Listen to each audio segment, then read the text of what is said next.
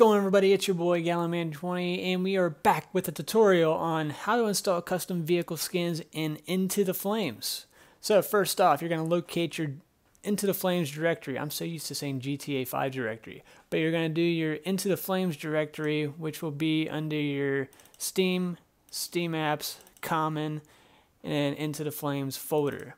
After that, you're going to see four things pop up. You're going to go to Into the Flames and you're going to see two folders, binaries and content. From there, you're going to right click in the white space, go down to new, you're going to create a folder, and you're going to type in mods, mods with a capital M. From there, you're going to go into that folder, and you're going to right click again, and you're going to create another folder, and you're going to name it skins with a capital S, and then for today's tutorial purposes, we are going to utilize the ambulance. So we're going to right click again. We're going to click on new and folder and then type in ambulance. Boom.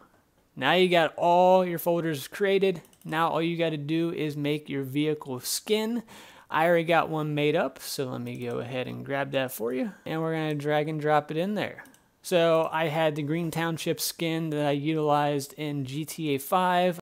I basically copied and pasted it over the template that was given to me and I was able to convert it basically to into the flames. So anytime you add a vehicle to the game, so let's just say you want to do engine 1, you're going to right click, create a new folder, name it engine 1 and then put that skin into that folder. Uh, you would call it engine 1 underscore skin. This one is ambulance, so we're going to do ambulance underscore skin. Always has to be a PNG file, always has to be the name of the vehicle that you were adding it into the game uh, previously. So like I said, we're adding an ambulance, we have an ambulance folder, then we're going to add the ambulance underscore skin as a PNG file, and then we're done from there. Um, so we're going to go back to the mods folder and we're going to go to the top and just right click on it. You're going to click copy address as text.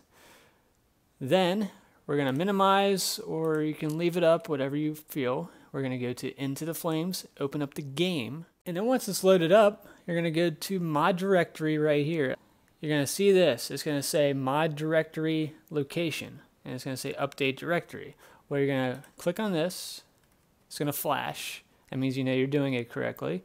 You're going to click Control V on your keyboard. It's going to paste that text that you just copied in there. Click Update Directory, and now you're good to go.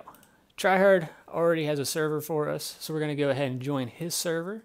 Okay, here we are at Station 3. We're going to go to Station 6 right here. Click on Ambulance ambulance is already up and running because this is the second time I've redone the tutorial. So that's why it's here and that's why it's on.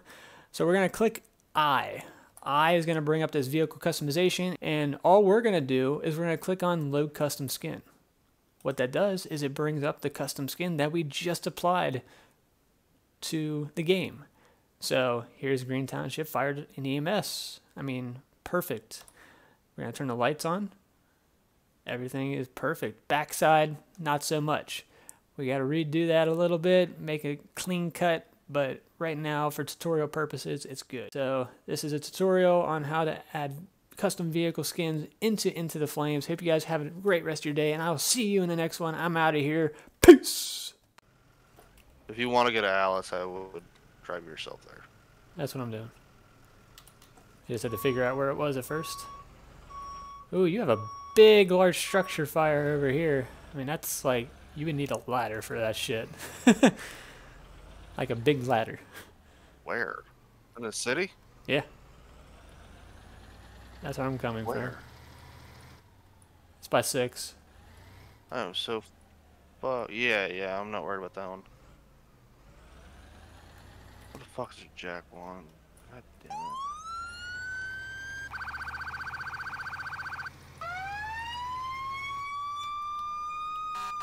Does the quote place a number on the truck would you like? I don't fucking know. Look for yourself, you fucking lazy bastard.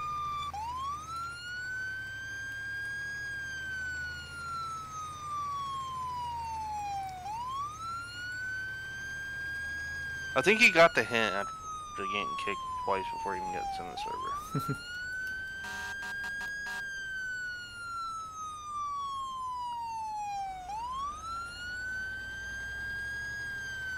have you seen it